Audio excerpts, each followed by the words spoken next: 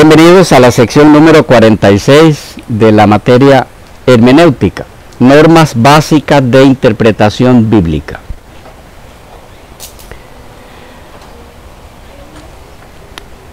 Los símbolos que restan en el capítulo 1 del Apocalipsis, las siete iglesias, versículo 11,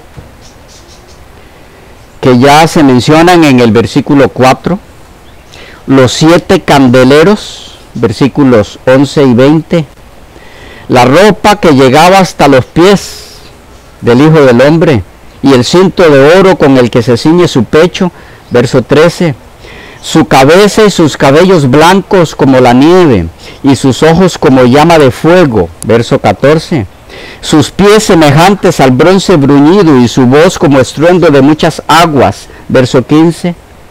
Las siete estrellas, la espada aguda de dos filos que sale de su boca y su rostro como el sol cuando resplandece. Verso 16. Las llaves de la muerte y del Hades. Verso 18. Están todas explicadas en la serie Apocalipsis, el drama de las edades por lo tanto, no los veremos aquí. Esto nos lleva a los símbolos del capítulo 2. El primero del capítulo 2 es el ángel de la iglesia. Este también está analizado en la serie mencionada de este servidor. El siguiente término, siguiendo en orden por capítulos, lo hallamos en el capítulo 2, versículo 6 los Nicolaitas. Porque aun cuando no es un símbolo, es un término enigmático de dudosa identificación. Ah, son mencionados también los Nicolaitas en el mensaje a la iglesia en Pérgamo. Entonces vamos a incluirlo en el estudio aquí, aunque no es un símbolo. Pero por lo enigmático del término. El origen de este grupo eh, es en cierto modo dudoso. ¿De qué grupo? Los Nicolaitas. Algunos dicen que proviene de o provenían de Nicolás de Antioquía, uno de los siete diáconos mencionados en Hechos 6.5. Otros aseguran que le atribuían a él, a este Nicolás, el origen de sus doctrinas para tener el prestigio de su nombre. Mientras que una tercera opinión es que la secta recibió su nombre de cierto Nicolás de fecha posterior. La última teoría es probablemente la más correcta. En cuanto a sus doctrinas y prácticas, parecería que preconizaban o recomendaban la comunidad de esposas, la poligamia. Consideraban con indiferencia el adulterio y la fornicación y permitían que se comiesen cosas ofrecidas a los ídolos, según algunos estudiosos como Clark, Quito y otros. Lo que sí es claro, por la relación de estos con la doctrina de Balaán, mencionada en el versículo 14 del capítulo 2, donde inmediatamente se les vuelve a señalar en el versículo 15, es que la doctrina de los nicolaitas consistía en la asimilación conformista a la cultura pagana y al imperio romano. Comer carne sacrificada, fornicar con tal idolatría y terminar rindiendo culto al emperador. Escritores de la antigüedad nos informan que los integrantes de este grupo, los nicolaitas, rebajaron las normas de la conducta moral y que tomaron la libertad cristiana como libertinaje, que eso era lo que los caracterizaba a ellos. Clemente de Alejandría, por ejemplo, escribió que los nicolaitas se entregaban a toda clase de complacencia propia y de inmoralidad. Y la referencia en el versículo 15 del capítulo 2 parece confirmar esto, pues ahí se los relaciona con la doctrina de Balaán. Y se explica que dicha doctrina es la de enseñar al pueblo de Dios a quebrantar los mandamientos, especialmente los que prohíben la fornicación y la idolatría. Estas personas habían convertido la doctrina de la gracia de Dios en libertinaje. Este hay alguna información sobre ellos, no mucha, pero sí podemos encontrar. Por eso es que es un, un grupo de nombre un poco enigmático, porque la información que hay es muy poca. Eh, la que puede encontrarse es la que nos dan los llamados padres de la iglesia, que son los que estuvieron más cerca de esa época, pero no hay más y no dan mucha, pero sí la que hemos mencionado. Entre esa información que ellos dan, eh, tenemos que quienes quiera que fuesen los nicolaitas eran famosos por su depravación una distorsión de la nueva postura de Pablo sobre la gracia y la ley. Nos dice uno de estos historiadores, los había llevado a rechazar todos los principios de la Torá. Es decir, fue un grupo de personas que tergiversó el concepto teológico de Pablo en relación a que somos salvos por la gracia y no por la ley. Ellos tomaron ese concepto y lo convirtieron en libertinaje. Es decir, como no salva la ley, entonces ¿para qué guardarla?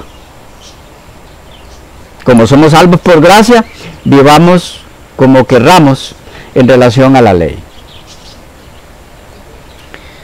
Por medio de la gracia de el Mesías, como ellos lo entendieron, se libraron de la Torá y cayeron en el libertinaje.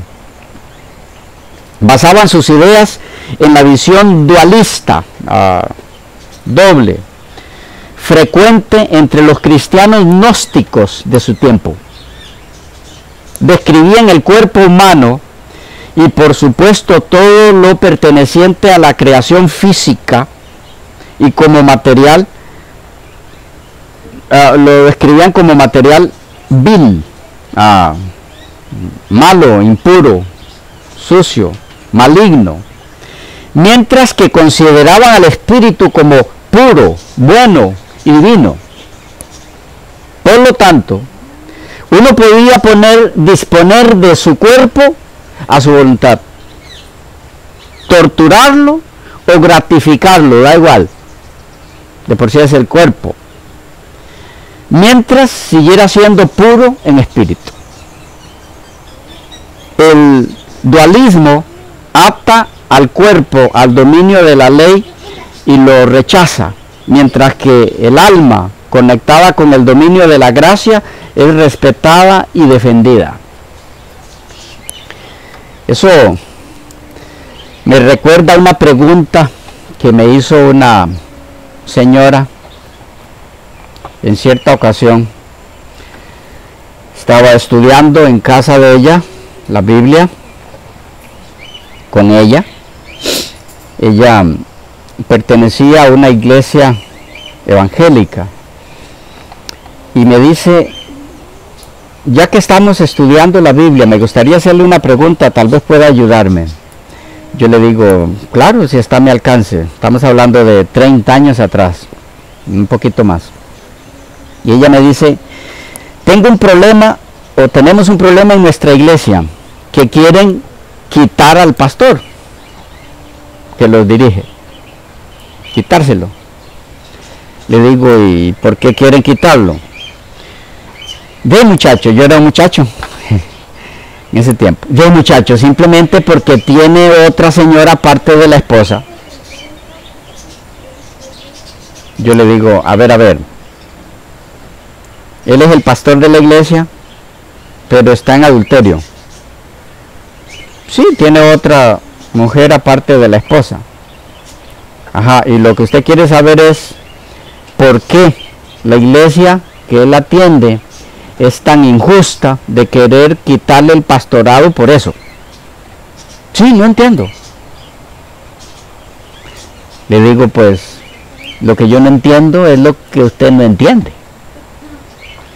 ¿Cómo no va a entender que está incómoda la iglesia porque su pastor está en adulterio? Me dice, ah, usted tampoco entiende. Me dice la señora, usted no entiende que él está en adulterio, pero eso son cosas del cuerpo. Su espíritu está puro. Me recuerda este caso. Eh, que no, no era algo que ella se estaba inventando. Ya habían transmitido desde esa época que estamos mirando aquí ese concepto los nicolaitas. Lo que importa es lo que se haga con el espíritu. Con el cuerpo usted puede hacer lo que quiera y entonces ahí entraban en problemas de la transgresión de la ley de Dios. Por eso recuerden que una de las cosas que leímos es que eh, apoyaban la poligamia, por lo mismo, porque todo eso se hace con el cuerpo. Bueno, este, hay algunas lecciones de este término apocalíptico, algo enigmático, entre otras, y es, ¿se estará dando lo mismo hoy día? Elena de Juárez preguntó en cierta ocasión, ¿es nuestro el pecado de los nicolaitas convertir la gracia de Dios en libertinaje? Así que ella define también claramente qué eran los nicolaitas en cuanto a sus creencias. En otra ocasión dijo, se enseña mucho ahora la doctrina que el Evangelio de Cristo ha anulado la ley de Dios que creyendo quedamos liberados de la necesidad de ser hacedores de la palabra. Pero esta es la doctrina de los nicolaitas que Cristo condenó tan implacablemente. Ah, interesante. Interesante. Este, eso es lo que podemos compartir de los Nicolaitas. Hay algunos que han tomado del nombre Nicolaitas, lo han subdividido allí en dos partes y por los significados de esas dos partes han llegado a la conclusión de que Nico y Laitas lo que significa es eh, los que tomaron el control de los laicos y que se refiere entonces al clero católico. Em, personalmente no he encontrado mucho apoyo para eso, por eso no se los he compartido aquí eso. Eh, pero van a encontrar eso en algunos comentarios. Eh, no digo que eso esté fuera de lugar, porque no, no lo he indagado mucho, pero no he encontrado en los comentarios mucho sobre eso. Em, pero por ahí lo va a encontrar. Bien, preguntas inquietudes sobre los nicolaitas. Allá.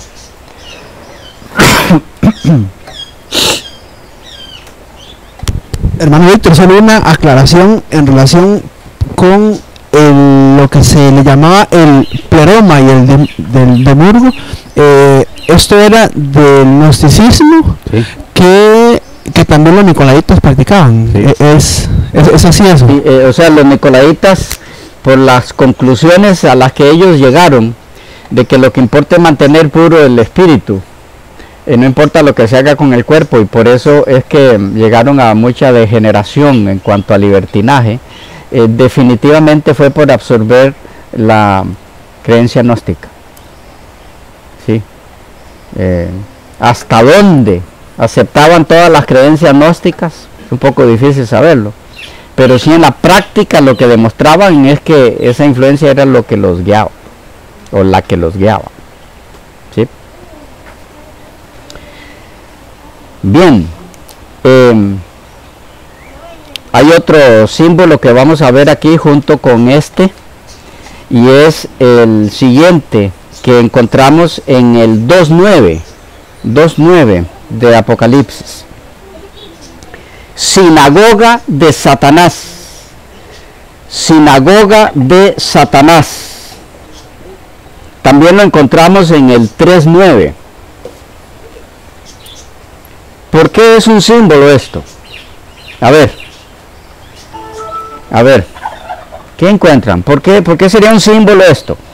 Sinagoga de Satanás.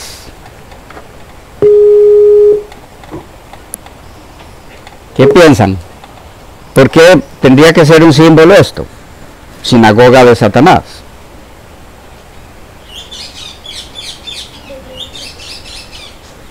Porque estaríamos, eh, si lo tomamos literal, diciendo que Satanás como que vive en una sinagoga, ¿no?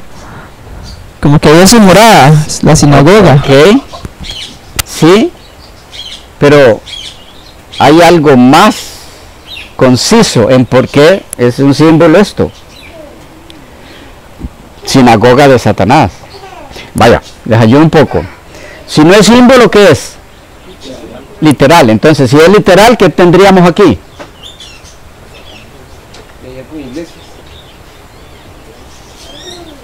Que había una sinagoga de Satanás. No existió eso. Hoy día tenemos iglesia de Satanás en algunos lugares del mundo. Y hay sacerdotes de Satanás, y hay himnario de Satanás, y hay Biblia de Satanás. Pero no existía en aquel momento, en el contexto que estamos estudiando nosotros aquí, em, una agrupación que se llamara Sinagoga de Satanás. Por lo tanto, estamos frente a un símbolo. Ok, tenemos una pregunta de Manlio, ¿no? Manlio iba a decir algo, hermano. No, hermano, perdón. Ah, ok, ok.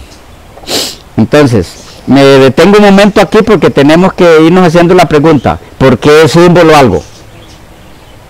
Lo que lo hace símbolo es que no es real. Ahora, si en aquel tiempo hubiera una agrupación que se llamaba sinagoga de Satanás, entonces no estaríamos ante un símbolo, sino ante una entidad que existía como tal. Hoy día, iglesia de Satanás no es un símbolo, es una realidad existente, porque así se llama, y así está el rótulo. Imagínense lo que hacen y lo que estudian y lo que cantan, y a quién le cantan. Bueno. Ah. Entonces es un símbolo porque no es un título o nombre real, no había un grupo que se autodenominara así. Y en el texto mismo dice que es una designación dada por Cristo a esa entidad, a ese grupo de personas. Por lo tanto, ese título tiene un significado oculto que hay que indagar. ¿Quiénes son este grupo de personas? ¿Por qué se le llama así? En primer lugar, hay que captar aquí que el texto mismo nos da la clave. ¿Qué dice? Alguno que pueda leerlo. 2.9. Yo tu obras, yo sé tus obras y tu Tus tribulación. Sí, perdón. Yo sé tus obras y tu tribulación y tu pobreza, pero tú eres rico y la blasfemia de los que se dicen ser judíos y no lo son, mas son sinagoga de Satanás. Y el 3.9.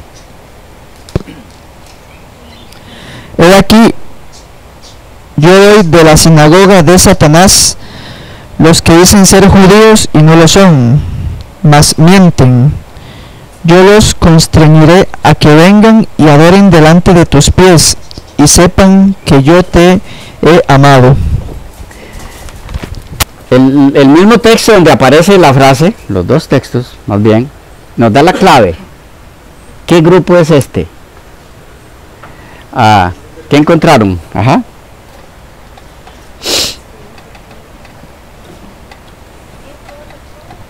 Pienso que sería donde dice, eh, dicen, se dicen ser judíos y no lo son.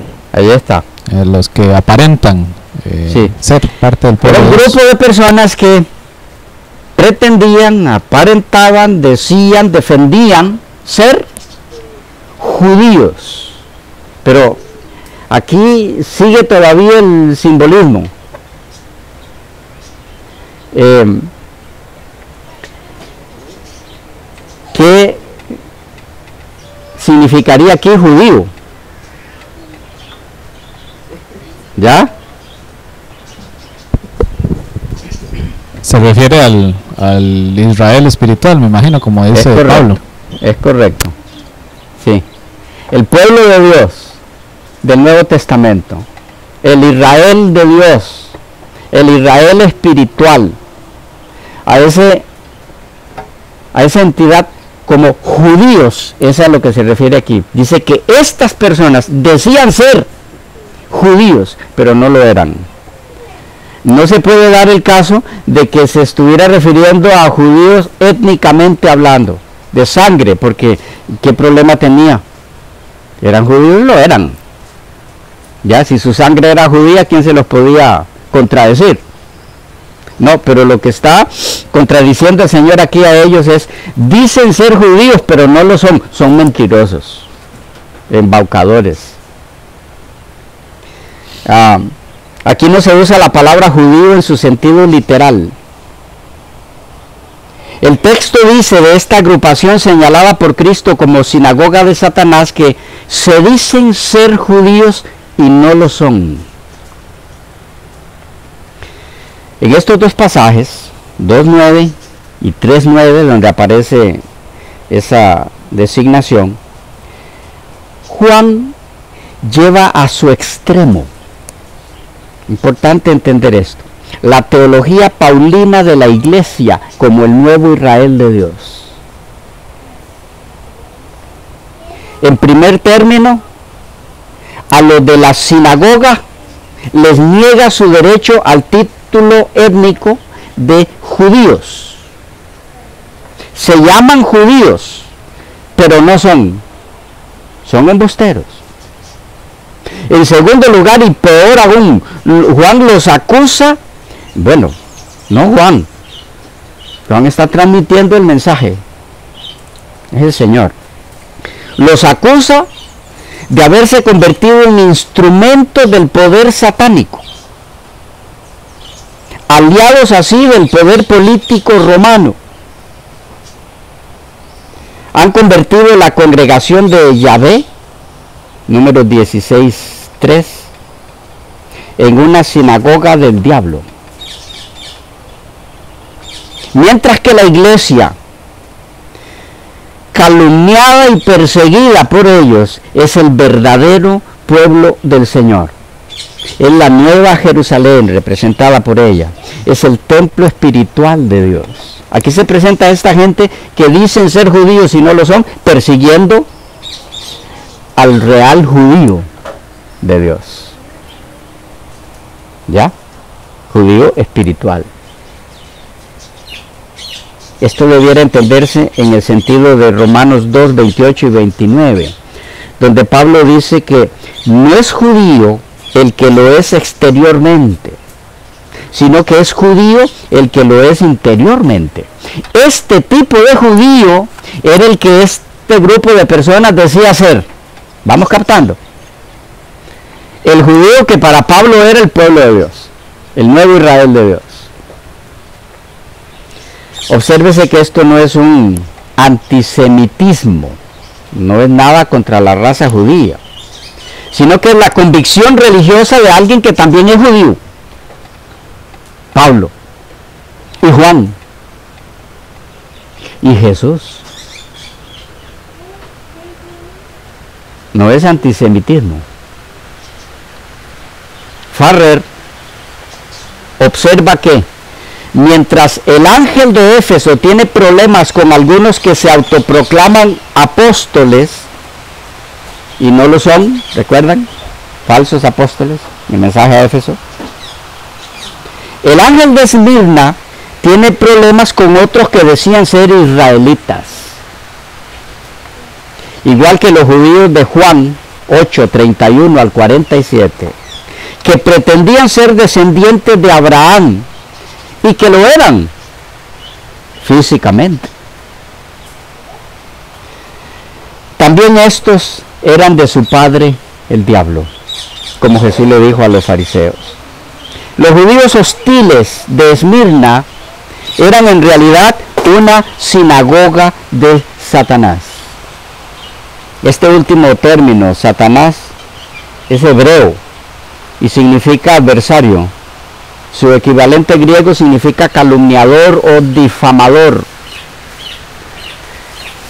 Margen de cuál fuera el origen étnico o nacional de este grupo de personas, su amarga oposición hacia la iglesia y su mensaje les había convertido en una sinagoga que promovía los planes supremos del, del adversario de Dios. Por eso es que se le llama sinagoga de Satanás. ¿Quiénes eran?